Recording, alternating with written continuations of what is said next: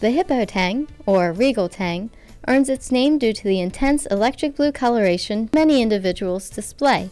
These amazing patterns, along with moderately easy maintenance requirements and invert safe nature, make hippo tangs a favorite among saltwater hobbyists.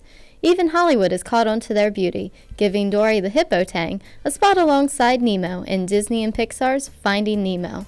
Like other tangs, hippo tangs are omnivores. They require lots of algae and plant matter in their diets, but will also accept the occasional meaty food. Algae can be provided through spirulina pellets, or fresh by growing algae in a separate refugium. Meat can be added in the form of brine shrimp or similar foods. Due to their feeding requirements, hippo tangs act as algae vacuum cleaners, keeping your tank clean and clear of this aquarium nuisance. Tangs are generally ideal in a community tank, but can become territorial around members of their own species.